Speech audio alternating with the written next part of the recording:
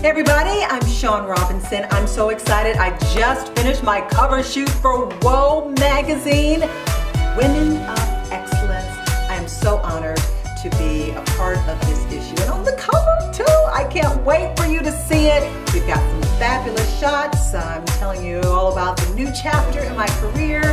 So